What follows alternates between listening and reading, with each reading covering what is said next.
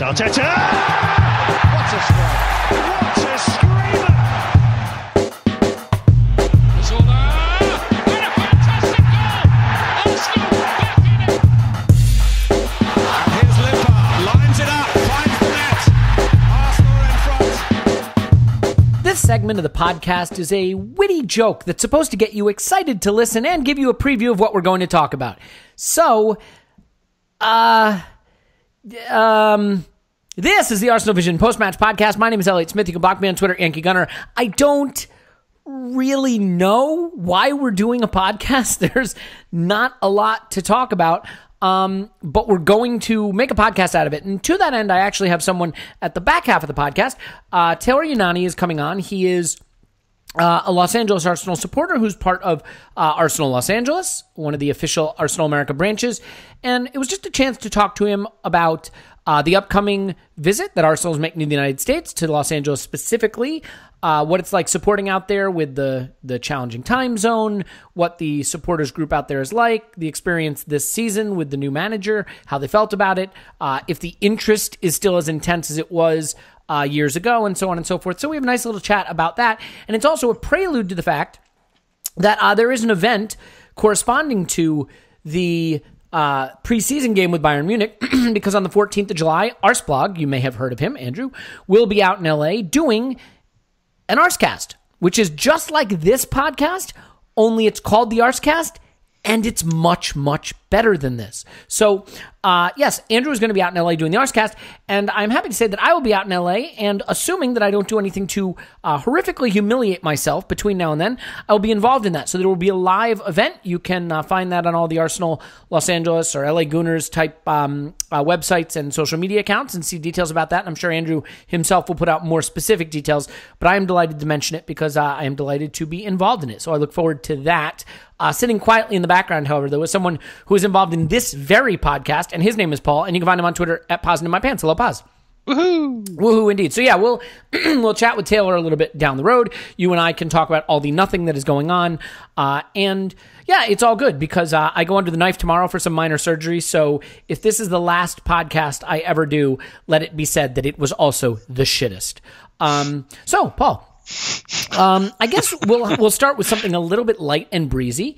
Uh, maybe play some games in the back half of this. But the light and breezy thing is Stan Kroenke, uh, not the most popular guy around. Uh, Kroenke out hashtag making its way around Twitter. Uh, some people starting to get a little bit aggravated with him, presumably for all the reasons that we've already known, combined with the fact that our transfer targets are, well, let's just say speculative. Um, for want of a better phrase. I'm curious to get your take on the ramping up of discontentment around Stan Kroenke. What you think is valid concern, if you think any of it's not valid, and just generally the the increasing agitation about him. Uh, festering agitation. I mean, I don't know of anything new to uh, rub salt in the wound, apart from the fact that Stan Kroenke uh, has a very low key, distant approach that lets Arsenal largely fend for itself. So my take on Stan Kroenke in Arsenal at the moment in terms of investment, I mean, we don't. There's not many of us who think he will take outside funds and bring it into the and inject it into the club even temporarily. Um, but I do wonder if even in terms of the resources within the club, he is uh, kind of once bitten, twice shy in terms of he, he has he has allowed the club to spend significant amount of monies on players over the last three, four, five years, um, and he might must be scratching his head at the moment trying to work out is it him, is it the club, is it the people he appointed, but he's not getting Yes. a return on the investment. yeah. yes. Well, let me ask And- you this: and- what what are? and yeah, go ahead. Ju- just quickly kind of uh, that was a bit waffly, but I do have a point, which is um, it may be all his fault, but that doesn't change his concern that where how does he spend his next hundred million and who does he give it to? And I, th- if I were him. And I'd kind of fucked up, as he may well have done at this stage, in terms of trusting Ivan or whoever along the way over the last few years. Uh, he's probably scratching his head saying, Do I trust Raul? Do I see a vision? Do I trust the the the team I have in place, and how do I transition to here from here to there? And until I see a team that gives me confidence that I've selected, and I'm busy off in LA with my LA Rams and all this shit, maybe I just leave it for a year or two to sort itself out, uh, sort out its wage bill, get its shit organized in, in the basics, uh, reconstitute itself, and then find somebody I really believe in to allow them to get their hands on the coffers. My concern is he doesn't have the confidence in the own team, the, the team he has himself in place. Yeah, look, I mean, everyone. It seems like Arsenal goes through this every few years. We have a cycle where everyone on social media is suddenly an accountant, uh, an Yeah. economics expert, a finance expert, and uh, understands all the laws of financial fair play and short term cost controls and all that, or we're forced to be. We might have the most academic um, uh, fandom in all of social media. But uh, we put out an article actually on the Arsenal Vision podcast website this week from Tom Jones analyzing Arsenal against FFP, and I strongly recommend you read it. Uh, and then you can read all the feedback to it as well and create sort of a, let's say, um, canon of financial fair play. It, it's kind of like the Game of Thrones universe if it was shit. Um, so anyway, look, there are concerns about Kroenke that I think stretch out to two issues. One are the financial concerns that he hasn't put money into the club. There are some valid criticisms here and some less valid criticisms here.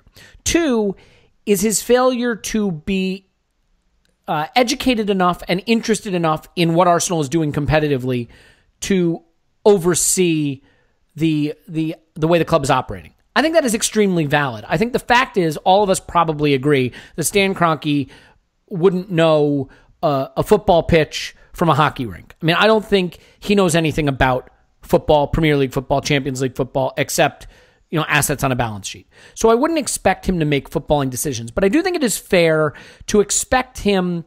You know, if it, the leader of an organization is not actively involved in that organization, you you ha- and doesn't have the skill set or the knowledge to be actively involved, that's troubling and that can cause problems. And we saw those problems with Arsene Wenger probably staying too long, Ivan Gazidis staying too long, and then the people who we've transitioned to potentially not having the joined up thinking that's necessary to lead us forward in the right direction. For you, which is the more critical concern with Kroenke as an owner? The fact that he's sort of a dilettante, that he that he is not a, a knowledgeable, interested, supportive uh, person in charge of the organization, or the simple fact that he won't reach into his pocket and fund more of the club out of his own personal finances. Yeah, definitely the former. Uh, the if I'm him, I want a diversified portfolio, so I don't have to get too hung up on any one of my stocks. Arsenal being one of his stocks, um, and I wish he was just more personally invested in Arsenal as opposed to his other enterprises. I mean, LA is the big one from now with the Rams. Ironic, given your little spiel earlier about how you're heading off there and the Arsenal LA involvement, but i i if that goes well for him, he, he's he's set, and it will go well for him. Uh, and it takes the pain out of any ups and downs in the other parts of his business. And Arsenal at the moment is a bit more of one of those ups and downs on a down. So he may well be in the stench, the blood flow, um, just kind of keep it ticking along. Uh, guys, go and sort yourselves out internally before we start splashing the cash again. And I just don't think he has the urgency we have uh, for obvious reasons because it's not his focus. I really think uh, the issue for him is he may well decide to let things stabilize before looking to change the team up. I think Raul is important for relationships for this UEFA Su- Super League. He knows everybody in the business, and that's his strength.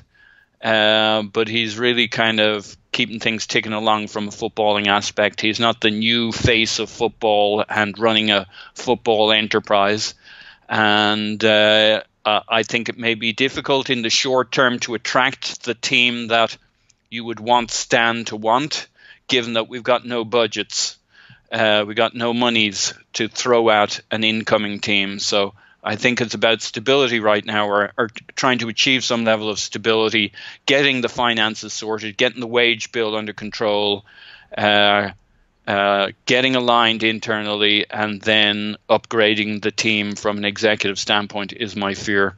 Yeah, and by the way, you know, I think because we have a fairly educated fan base, like I don't think the vast majority of fans, when it comes to the economic side of things, Paul, just want Kroenke to spend some fucking money. Like I think Yeah. there's a realization that there's FFP, there's short term cost controls. Like he can't just go buy us 400 million pounds worth of players on 300,000 pounds per week and turn us into Manchester City or or you know the the competitors for the top of the league and Champions League. Like he he can't do that even if he wanted to.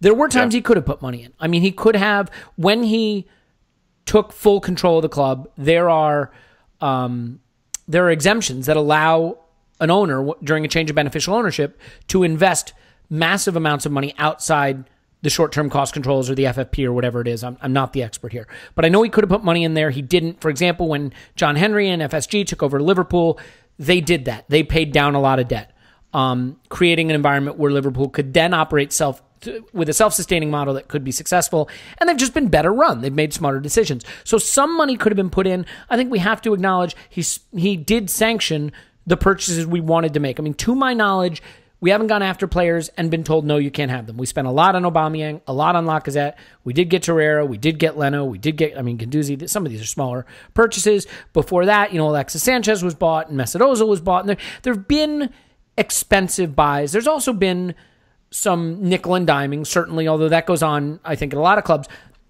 The economic side of it is annoying because I don't think if there was a little bit of money he could put in to get us a little bit more competitive, I don't think that calculation matters to him.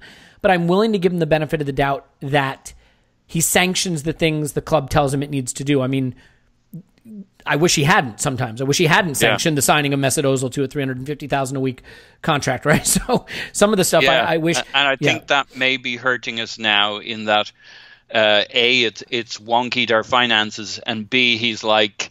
Uh, I'm not doing it again till I feel confident about who's on the receiving end of this money, and and that know. to me is likely the ro- the the roadblock. He's he's not sure that we've the team in place to spend the next hundred hundred million the way he wants it spent.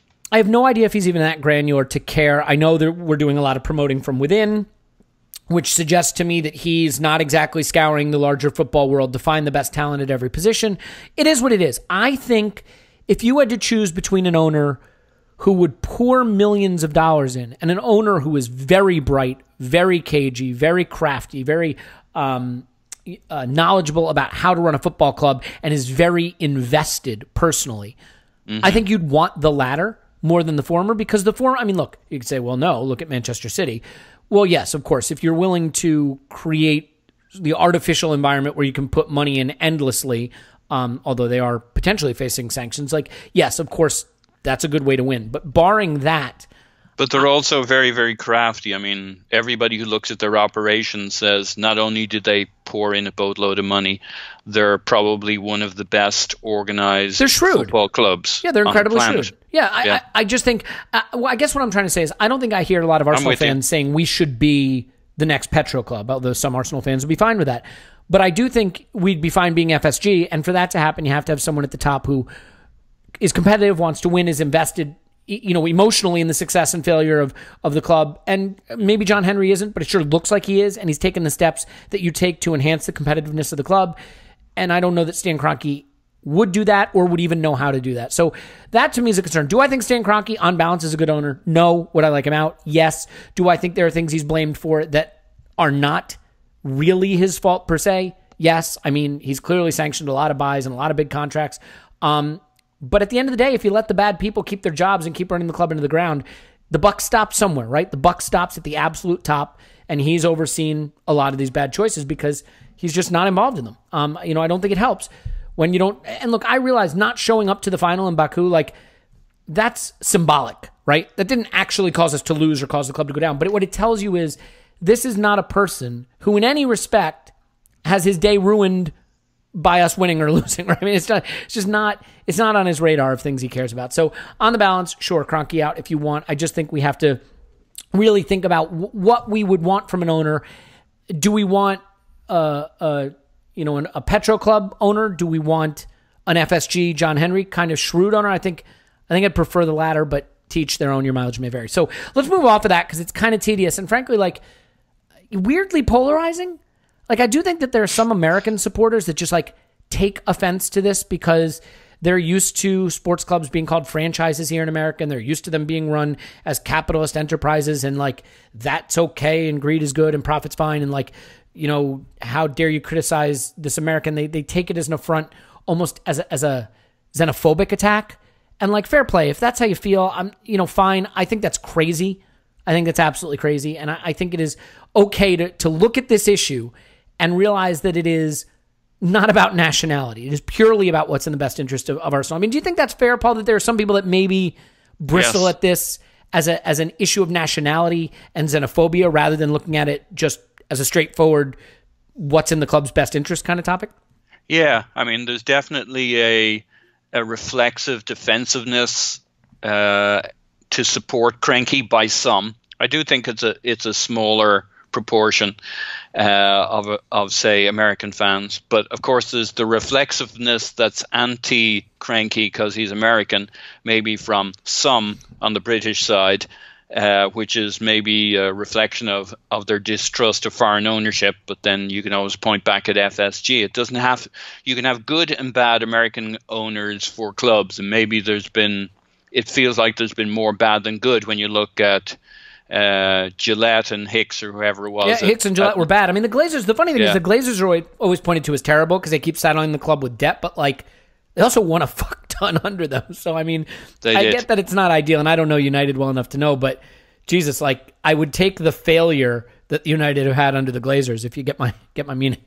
Yeah, but they, I mean, it, it's a hell of a story. The the Glazers, right? I mean, they they rode the the uh, the financial bubble there, and it could have gone all sorts of ways badly. So it's it's not really what you do to your club as a fan. But uh, yeah, they looked out in the end. They're obviously pretty smart, but they also took a major fucking risk by with a leveraged buyout and all that shit. That's not how you want to get it done Yeah, these that's fair. days. That's fair, and they But- are they're heavily heavily leveraged still with tons of debt on top of that club. Yeah. Yeah, they're now laughing, but they weren't always. I mean, th- there was a while when the debate from the financial sorts were was were they going to make it, uh, and how badly would United get raped along the way?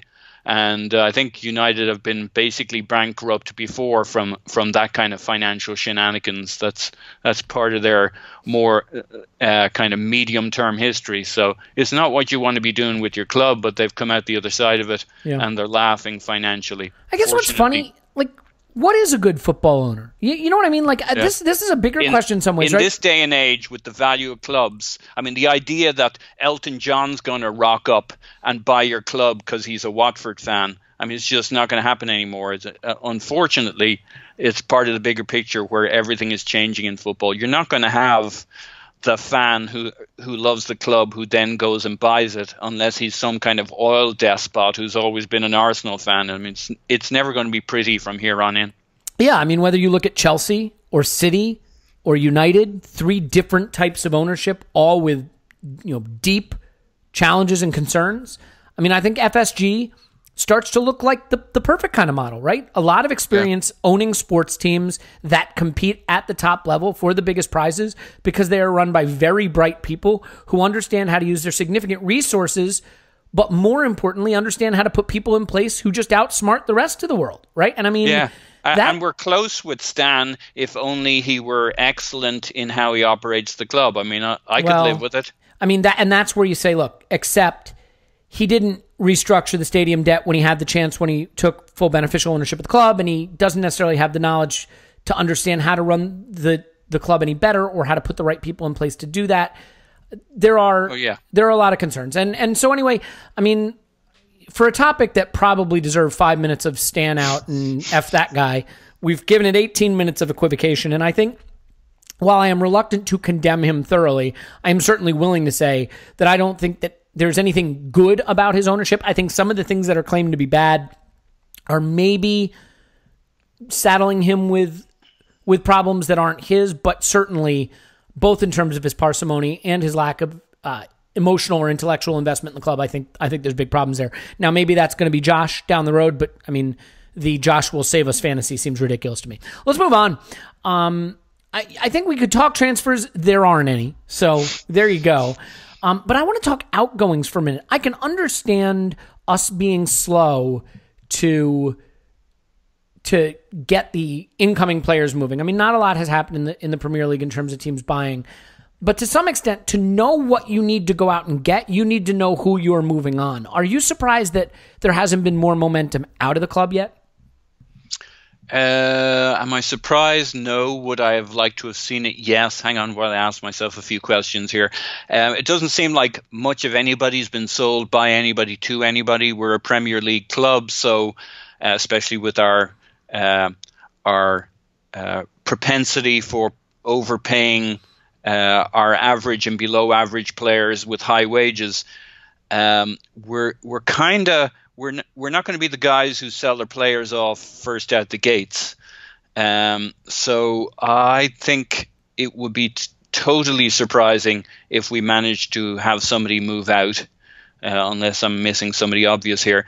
Just because we're going to have to get the perfect timing of, uh, you know, if you're looking at like a at somebody like a Mustafi, we're looking for a decent fee, and he's got he'll have probably wages that are beyond what other people are wanting to play pay and that you know there might be one or two clubs that are a good fit in terms of a league like Spain or Italy. Um, it's not going to be a lot of options where in those leagues you have enough money um, to make that move happen. Uh, we're we're going to be looking we're only selling them well, we might be selling them for two reasons, but one primary reason is we'll need funds to do other things. So I don't think we ha- do. Uh, let me put it back to you. Do we have an easy transfer that should be a kind of a, a gimme? Somebody of that we want to let go, who's of good value and fits into another league or another team fairly automatically. Nobody kind of leaps to mind for I, me. I mean, Mustafi ticks some of those boxes, maybe. Yeah, but probably expensive and uh, and not exactly uh, top stack at the moment in terms of we've managed to devalue him in terms well, and of this his is the chicken and the egg problem. See, this is why I just get so frustrated with Arsenal. Right? Are you going to buy a center back or two? Are you going to buy a central midfielder? Obviously, you know you need a left back and probably a wide forward, but what about those other two positions? Well, if you don't move on Mustafi and you don't move on Xhaka, that impacts the amount of business you can do. And you might say, well, no, it doesn't. We still need two center backs. Yeah, well, guess what? Like, that's not how a wage bill works. That's not how a club works. If Mustafi is staying, God forbid, you can't just put him in the reserves and go replace him with other center backs. You just can't. Um, you know, and the same goes with Xhaka. Like, Xhaka's an important part of our team. I think he's a deeply flawed player, and I'd be ready to move on from him. But if he's staying, he's going to play 2,500 minutes for you this year. So, you know, I just, without knowing if these players are moving on, I don't know how the club can then go out and target the incomings, um, apart from a let, few obvious Let me positions. help you with that. Yeah. Xhaka will be staying, and they'd love to sell Mustafi. You don't think you don't think Xhaka would will go? um, I mean, I guess if somebody attractive comes in and makes an offer, but uh, I mean, I don't feel it's on the cards. Do you? I mean, there was like that week where it felt like, ooh, uh, he he's been ambiguous or or less than ambiguous in his statements. Yeah, and then the, there's Inter and other people sniffing around at least through the media headlines, and then that all died a death. I, it doesn't feel. I mean, who knows? But it doesn't feel like Xhaka's a candidate. I, I suspect we'll have him next year. Don't you? I'm not convinced. I'm not No? because I think if you're going to reshape this team, Oh, I agree with that part. yes. we need to raise funds. And Xhaka, Yeah, yeah. I mean, look, you could get 35, 40 million for Xhaka. I really believe that. I don't know. We've got anyone else we want to sell that can bring that in. I mean, Lacazette and Aubameyang are the two that have been hotly debated. Um, all right. Well, let, let me put it to you. Let's let's do a lightning round real quick. I'm going to give you a number and a player, and you say you would sell or you wouldn't. Okay. Yep. Lacazette, 80 million. Yes. Oh Oba- yeah. Okay. Uh, and he's really fit. Yeah, he's very fit. He's been on the treadmill. Okay. No, th- no, Aubameyang's been on the treadmill. Oh yeah. I said Lacazette. Lacazette, 80 Oh million? yeah. Sorry. Oh Jesus Christ. Hang on. Uh, they're interchangeable for me. Call me a Not not for me. Lacazette, a 80 million. Sell or keep. Lacazette, eighty million. Fuck. Sell. Aubameyang, 80 million. Sell. What if it's to United? Uh, um, fuck it. With that kind of money, they'll get somebody of his talent somewhere. Okay. And we need we need to rebuild, and you got to play yourself out of a corner. Sorry. Xhaka, Xhaka, 35 million. if if I'm Emery and I have a co- and I have a plan and I know what I want to do, sell. Torreira, 40 million.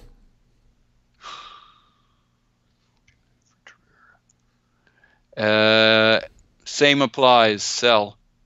Okay. So you are, and I think I agree with this. I wouldn't sell Torreira for reasons I'll outline in a moment, but I think you and I are on the same. Only if I have a plan with Torreira. So I- here- I, I, I wouldn't. If you're asking Paul Cassidy if he authorized the sale of Torreira by Arsenal, the answer is no, uh, because I don't believe they know who they want to buy at the moment. I did, you know, Sven may Sven Mislintat may have been something of a myth to us in terms of his magical powers, but if I felt we had a plan, if we had a Sven, if Emery really knew how to spend the money, I'm okay with us reinvesting 40 million.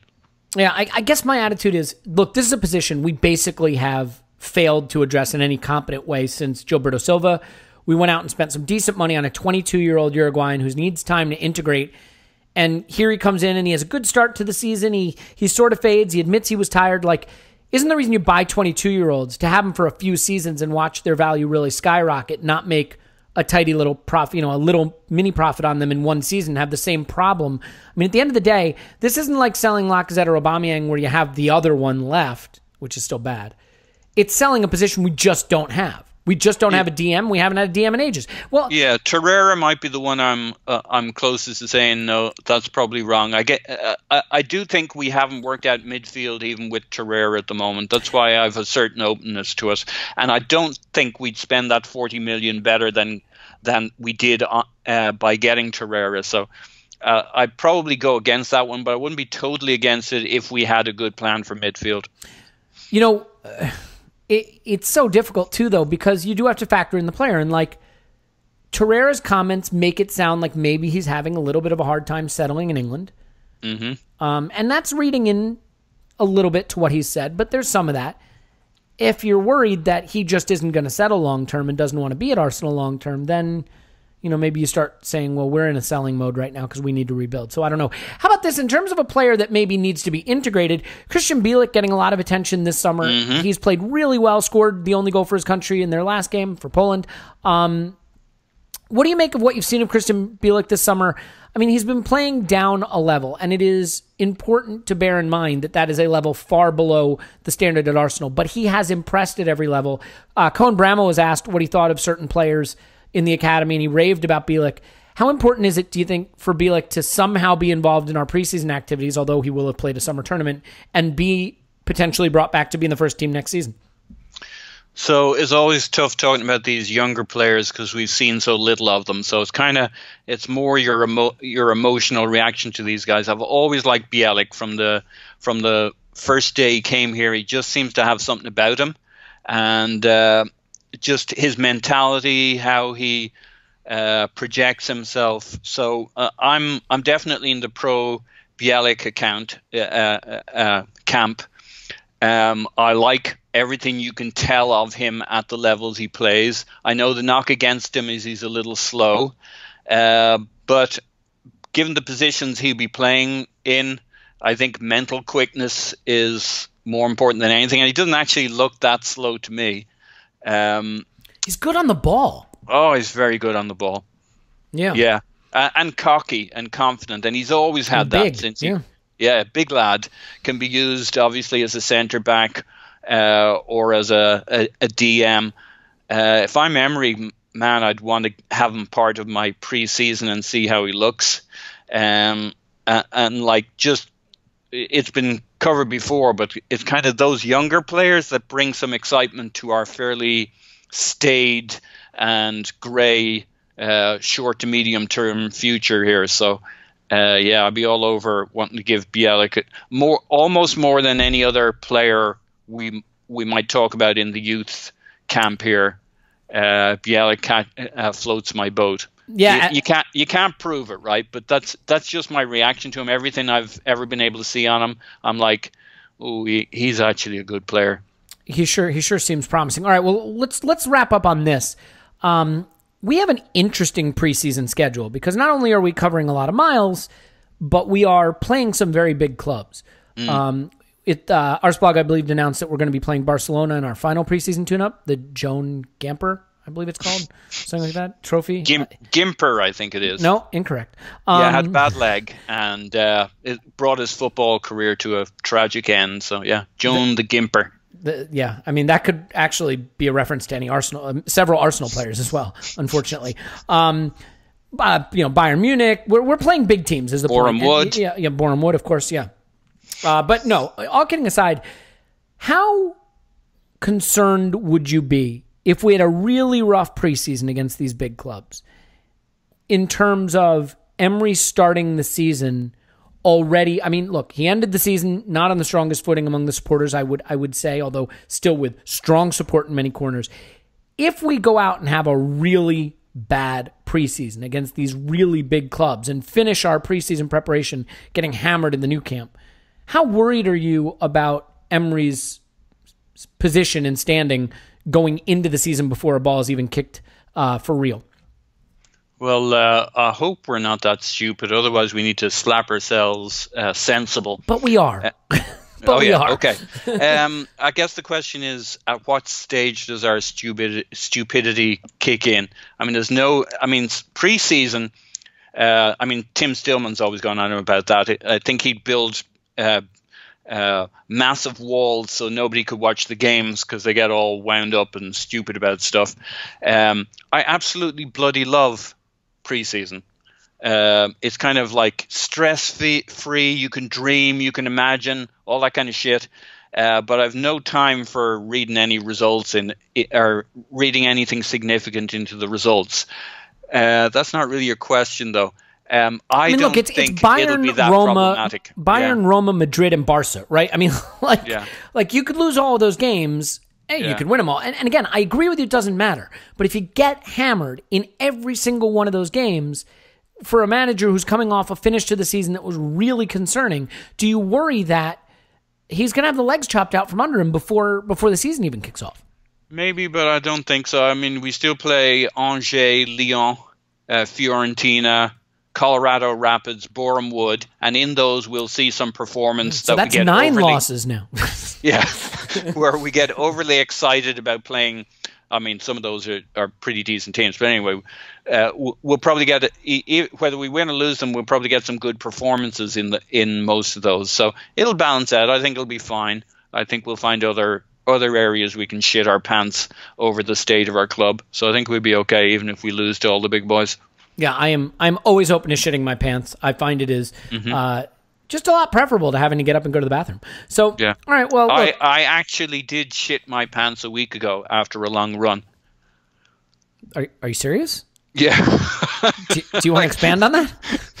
Not really. I mean, if you go for a long run somewhere and then suddenly your bowels kick in uh, and Yeah. you have nowhere to go, You drop your drawers.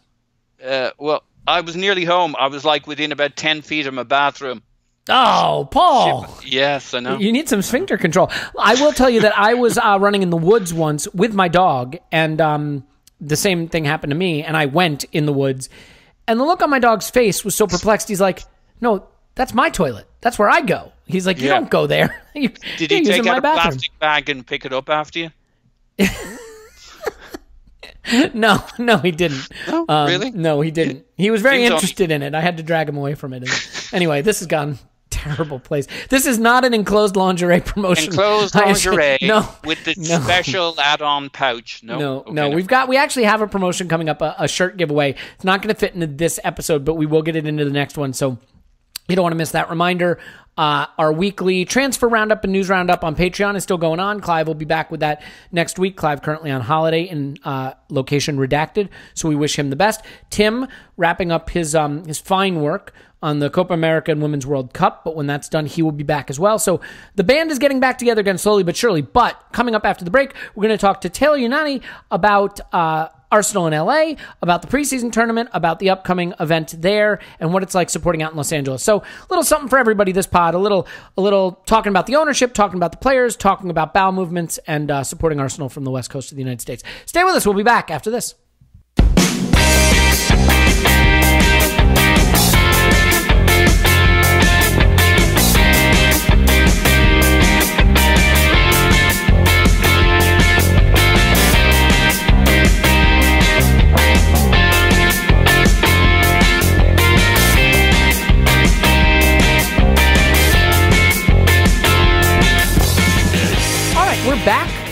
It is my pleasure to introduce a community representative from Arsenal Los Angeles, uh, someone who is obviously going to be involved in all the events and build up uh, leading to Arsenal's visit to Los Angeles later this summer as part of the American tour. Uh, we are very excited to have him on. And it is now my pleasure to introduce Taylor Younani. Hello, Taylor. Hey, Elliot. Thanks for having me on, man. It's good to finally be on here. Yeah, it is a pleasure. We took uh, our time, which is a code for I took my time to set this up, but it is set up, it is happening, and literally you now are on it and people are listening to it. Uh, technically, they're not listening to it now because we're recording it, but those of you listening to it, you're technically listening to it right now. That's how this works. Right um, now, in this moment, in I this exact it. moment, like that's it's happening literally right now. Um, Taylor, you do not have a Twitter handle you're promoting, but Arsenal underscore LA is a place you can find uh, Arsenal Los Angeles. Why don't we start just first with your role as a community representative? I mean, what are some of the things that Arsenal Los Angeles are trying to do to engage the community with Arsenal more closely, to deepen the relationship, to celebrate throughout the season? And then we can talk a little bit more about the upcoming visit. Cool. Yeah. I mean, one of the most important things for us is just engagement. You know, um, oftentimes we talk a lot about, or I'm sure you're familiar with it, but when, you know, as American fans, we're sometimes kind of viewed as potentially um, fair weather or uh, lesser than than some fans uh, from overseas. And what we're really trying to instill in our community is um, that we're passionate fans um, that are really the byproduct, honestly, of all of the deals that have been happening um, back in the UK. So the television deals that have been happening, the money that's been coming into the league, um, has really brought football to our front door, and it, it's more accessible than ever for us here in America. And I mean, we know that even overseas they don't get all of the games, um, but here we we pretty much do. Um, the access to them is quite regular, and what we're doing is we're establishing a place um, that's welcoming to all people from all over the world. Um, any week that you are in Los Angeles, um, particularly we're in the San Fernando Valley, uh, you know that you have a place to watch Arsenal Football Club. Yeah. Um, and that's what we really want to instill in the community. Yeah, I mean, I think one thing that uh, may get lost in translation sometimes is because we can't attend games um, regularly. Obviously, you can catch a flight, make a you know once in a lifetime or once annual or even once quarterly, whatever it is, uh, pilgrimage to the Emirates. But because you can't attend games regularly, and because football is growing but is still not the massive sport here that it is, uh, mm-hmm. uh, in Europe and of course in, in England and London specifically, what can sometimes happen is that the only place you can commune with other Arsenal fans, so to speak, is on social media or through content. And Truly. so these organizations throughout the United States that uh, bring fans together give you an ability to not recreate the Emirates experience, but recreate a live experience that is a part of what I think Absolutely. makes it feel like a sense of belonging to so many people who are in London and and help somewhat export that feeling to people who are uh, in terms of actual distance geographically very far from the club. So, uh, where do you guys attend the games and like what would now look? You're in Los Angeles, and that means mm-hmm. that the kickoff times range from too early to obscenely early. I mean, if you're lucky, yeah. you might get an 8 a.m. kickoff. If you're unlucky, unlucky, you might get a 5 a.m. kickoff. I mean, what kind of attendances are you seeing in, in local events, and where are some of the places that you gather? Well, the really cool thing, um, and just to kind of segue from what you had just said into this, um, the really cool thing about what we're doing is that we have a lot of people that attend the games um, that are actually from England, that you know grew up uh, down the street from Highbury, that for one reason or another have relocated to Los Angeles. So they're going to watch the games whether it's at 4 a.m., which is usually our earliest kickoff, or at noon, let's say um, which are you know more of the weekday yep. Mm-hmm. games. Mm-hmm. Yeah. Um, so typically, um, m- my group, Arsenal Los Angeles, we meet at a place called the Fox and Hounds Pub. Um, it's located in Studio City, so it's about a five minute drive from Hollywood, and it's pretty much the heart of the San Fernando Valley for those of you that are familiar. Um, 4 a.m. kickoffs, to be honest with you, Elliot, they really vary um, in attendance. Uh, if we are playing the Spurs, Yeah. uh, you know, those games will draw a lot of people. A lot of people. even if it's 4 a.m., because people know how big that game is. And they will wake up. Uh, most people, actually, to be honest with you, Elliot, don't go to sleep the night before if we Yeah. have a 4 a.m. kickoff. I remember We'll that just be lifestyle Yeah. before marriage and children. Yeah. yeah, we'll, we'll just be hanging out, having a good time. Sometimes people will host events at their house, and what'll end up happening is we'll all have some some drinks and watch uh, highlight reels of the good old days. You know what I mean, and reminisce. Um, so those will have massive turnouts. 7 a.m. games, I'd say, uh, are pretty steady at about 45 to 50, 60 people That's great. um, it's it's pretty fantastic. And then you know, first day of the season, we had, I believe, I counted about hundred people uh, this past year. So eh, turnouts can be pretty massive. However, however, Yeah. However, uh, this this year has been, you know, the Europa League has Attritional. been a Okay. stretch for people. I, I want to stop you because this is something that I did want to get to. So, one thing that we do a lot in terms of measuring fan excitement, fan exuberance about a season, about the team, about the direction of the club is we look at the Emirates. Half full Emirates Stadium sends a big message. It's harder to measure that same exuberance and intensity and ex- of excitement from the overseas supporter. I mean, obviously, viewing figures can factor into that. Uh, although you know illegal streams being what they are and whatnot, it's not as easy to tell. So for you personally, watching the growth of Arsenal LA and then the transition to the Emery era, the the dropping down into the Europa League, and some of the performances that have followed, are you seeing firsthand a, a deterioration in the exuberance of the support locally? You know, I think that there has been a slight drop off that mirrors what's happening at the Emirates. Um, and it's not for lack of necessarily loving Arsenal. Um, there's no denying that our supporters love Arsenal. But what's happening, um, especially in a place like LA, where you have to understand there's a lot of people, mostly working class people, um, it's hard to take a day off of work on Thursday um, to go see Arsenal play a team that you normally wouldn't really bat an eye at.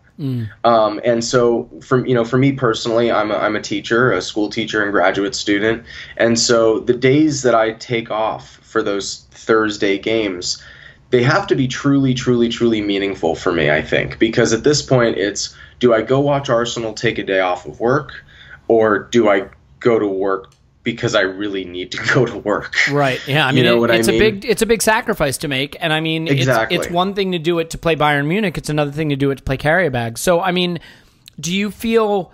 I mean, well, let's just get to it. I mean, in terms of the conversations you're having in the pub, and in terms of you know the the strength of the support.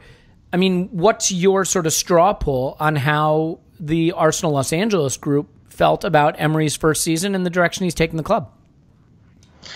I think it's um, you know I think that as a as a group, Arsenal LA pretty much is along the same lines as you know what we're hearing from you and a lot of other people on the pods um, is that he Emery he as in Emery um, it's just not connecting for me personally quite yet and I've I've spoken to a lot of friends at the pub that feel the same way. There's no doubt that he's a skilled manager, but what we're missing is some sort of finesse in that management that makes me think that he's the guy that's going to get us to where we truly need to be. And I'm kind of of the school of thought where I want to give him one more season. Um, I really think we needed to win the Europa League. I really nice, yeah. do. I, I mean, it would have been nice, but I just think that not winning it is going to potentially uh, change the trajectory of this club in a lot of really disheartening ways. Um, and we're going to see that happening soon. But uh, I say one more season. I want to see what this transfer window is going to bring up, and I think a lot of my friends agree. Uh, what what can we do? We have a lot of major assets that we need to figure out.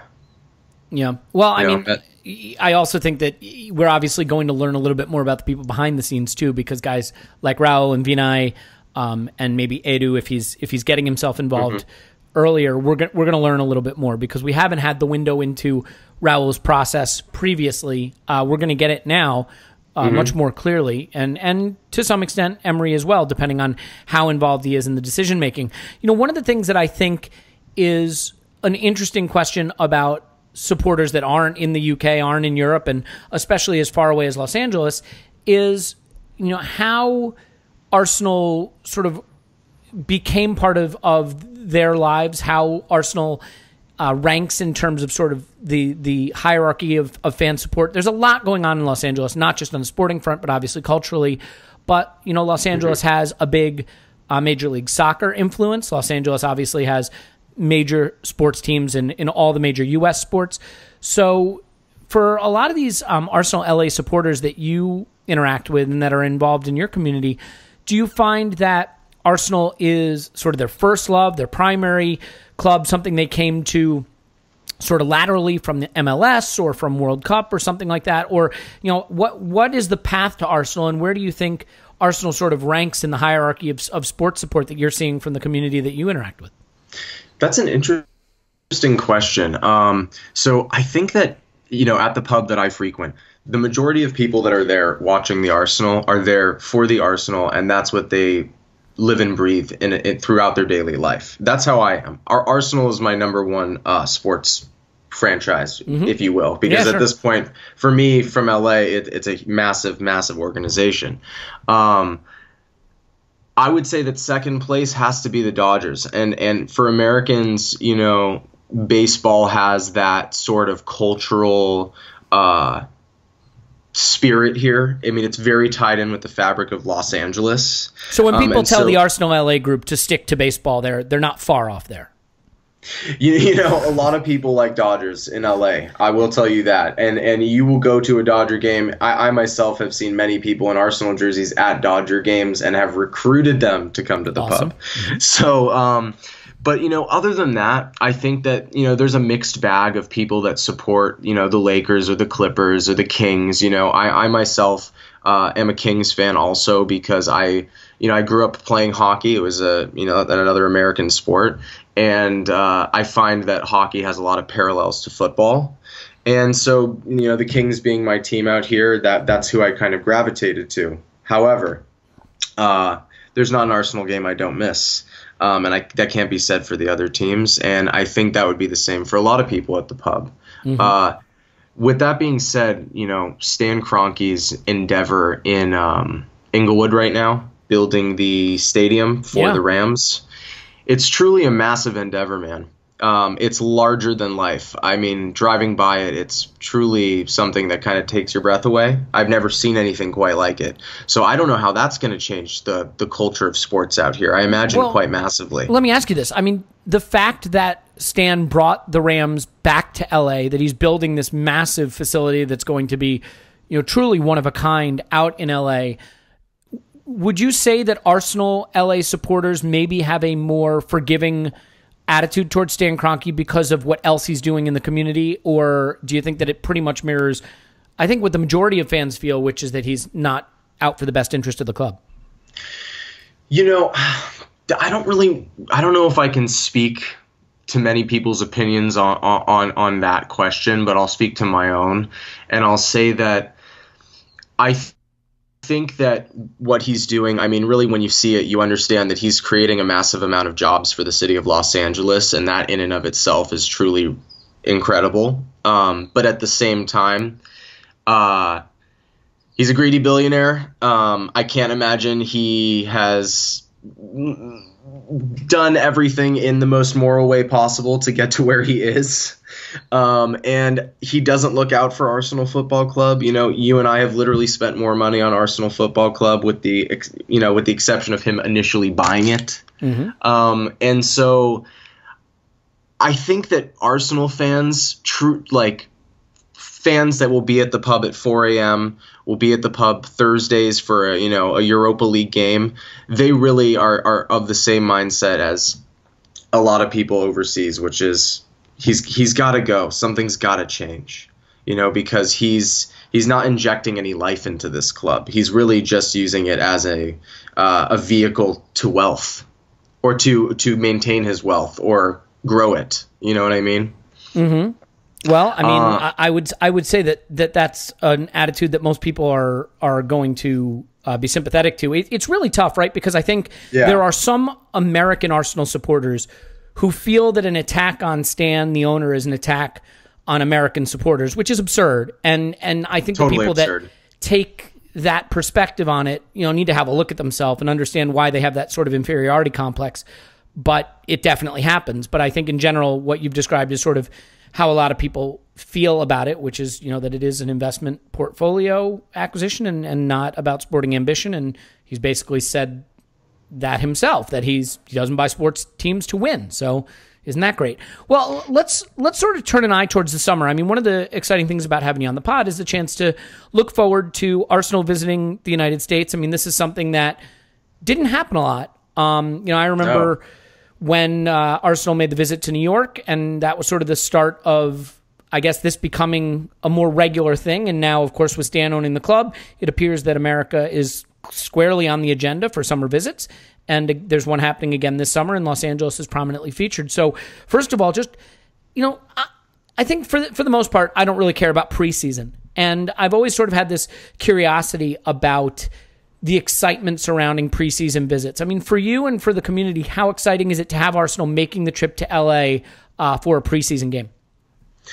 It's massively exciting, um, and I, I don't think that can be said enough. Um, and one of the main reasons is it's it's a lot of people's first times to ever see the badge in person. I mean, the true badge. You know, um, regardless of where we're at um, in the league, re- regardless of our, our position in Europa, you know, I, I view this kind of from a teacher's lens. This is going to be a lot of kids' first time experiencing Arsenal Football Club, and and with that being said, a lot of the people that will be playing in that match are going to be youth players. You know, so I think it's a really great experience for people of all ages, but particularly young individuals who are trying to get more involved in football or in athletics to begin with, right? Um, and so we don't get to see Arsenal in the flesh very often. And so we take this as, I mean, the whole lead up to this is going to be insane. We have events planned, um, and it's really going to be a thing that unites the footballing community out here. Um, we have four different, uh, I believe four, four different um, Southern California Arsenal branches, um, Arsenal America groups, teaming up um, to host a number of events. It's going to be super unique. We're doing things at the beach, um, and what's really great is it's it's brought a lot of people together that don't normally um, hang out with one another because of distance because you know LA is very very spread out, um, which is the reason why we have so many Southern Californian branches. Um, but it's really something that's just going to unite all of us uh, for you know three four days, and then we get to finish it off with doing something we all love, watching Arsenal play. Yeah, and uh, without revealing too much, I'm actually going to be out there for an event that'll be taking place. There'll be more information about that down the line, so I'm not going to spoil that yet. But I'm looking forward to No, making no, the no. trip out there. Um, but I, you know, one of the things that I'm curious about. Obviously, Arsenal aren't visiting every American city. They're visiting a few, and Los Angeles, I think it is fair to say, is the biggest one, being you know Mm-hmm. basically the biggest city in the United States. Um, do you get the sense? Have you had people reach out to your groups? Um, get the sense that a lot of people are going to make the trip out to LA from other places around the country to be there for the event. Oh, most definitely. Um, so much so that I believe it was Arsenal America. They set aside, or they actually communicated to a hotel near the venue um, where the game will take place to set aside some rooms for people that will be traveling. Oh, very cool. Um, and so, you know, there is the Denver game. Um, that will be happening. So a lot of people are taking this as an opportunity to really make this a mini vacation for themselves, where they're going to Denver and then they're coming out to LA. Um, so it's yeah, going to be little little marijuana, little magic mushrooms, and then some beach. That's. Exactly, and, and I mean in beach and and marijuana too. Oh. Okay, you yeah, okay. it's legal out here also, Yes, just the mushrooms only in Denver. Don't bring that to LA. Just and Oakland PSA. apparently recently. You But know I, what? I am not. I'm not up on the drug legalization movement. I apologize. no, no, no, me neither. But anyways, um, yeah, there's going to be people from all over. I know people uh, are coming. My brother is a you know frequent uh, visitor of O'Hanlon's in New York, um, and he will be making the trip out here to join us as well. Um, and I know that of many people from um, England that will be joining us. Um, some that I do not want to mention on the pod because they'll get mad at us. But it's going to be really exciting. I don't really think anyone exciting. would get mad, but we, we there's definitely going to be more announcements and and uh, a lot of people coming out. I think there to are so many support the people event. you know coming out that are that just love Arsenal from all over the world, and th- that's the most exciting. I mean, it's im- almost impossible to not be hyped for this uh, event. It's going to be truly great, Yeah, I'm really looking forward to it, and I know a lot of. and other- I get to meet you. Sorry to cut you off. No, that that is uh, by far the least exciting part of it, but I appreciate you mentioning it. Um, yeah, I, I think there are a lot of people that are just really excited for this. And look, ultimately, it, it is a tension I think that you feel sometimes when they they talk about the possibility of the 39th game, right? And and Premier League teams potentially playing regular league games outside of England and what that does to the match going fan. And as an international fan, the tension you feel is I wouldn't want to see that happen. I mean, obviously, I have friends like Tim Stillman who never misses a game. And, you know, what does that do to those kinds of fans and what does it say to them? And at the same time, I will fully acknowledge that a preseason game is not something I am interested in. I think it is an amazing chance to get together with other Arsenal supporters and feel a part of that community. And celebrating that community is something that we don't get to do enough together, um, not just here in the US, but throughout the world. I think any chance we have to congregate is great. So I look forward to it from that perspective. I definitely think there's a tension of wanting, thinking it would be incredible to have a competitive fixture happen here and also recognizing the extent to which that would be very much at odds with what's in the best interest of the the fans who are local to England and pay for season tickets and follow the club uh, home and away and and obviously I understand why that wouldn't be something that that would necessarily be in their best interest and wouldn't reflect an appreciation for their commitment and their sacrifices. So I think for right now we will just be thankful to have this opportunity in preseason to get together as a community here to hopefully have people from around the world come. Certainly, if you're going to have to go somewhere in the United States, you could do a lot worse than the cities they've picked. And Los Angeles is right up there with one that you would want to visit and have a great time at. Um, and you can drive by Stan's new creation and uh, yell expletives at it um, in honor of him. So there's You that. have to yell for a long time because it's pretty damn big. Well, you know what? There's a lot of expletives to sum him up. So get creative. Look, Taylor, we really appreciate it. If you want to follow him slash the group on Twitter, it's Arsenal underscore LA. Uh, certainly more information to come about the visit out there and events that'll be going on. And until that time, uh, Taylor, we really appreciate you taking the time to come on the pod. Tell us a little bit about life out there, other than the fact that the weather is always perfect, but that uh, supporting the Arsenal is, is not too bad out there either. No, it's truly a wonderful thing, and I'm I'm looking forward to uh, you know meeting a lot of people this summer and making some memories that involve Arsenal and you know just the badge, Yeah, absolutely. the Well, badge. the the badge, the badge, the group, Yeah. the experience. It'll be great. Look, I uh, I can't wait, and I know a lot of other people feel the same way. And uh, who knows? There may even be a transfer between now and then, but we won't hold our breath. Uh, all right. Well, my name's Alex Smith. You can block me on Twitter. Yankee Gunner gives five star review. Write nasty things about us in the comments. We will uh, we'll be back with more. We've got uh, Patreon transfer pod number two coming up next week uh, because there will be one every week, and hopefully there will be new rumors if there is in fact no actual news. So until then, we will talk to you after Arsenal 10 transfer window now.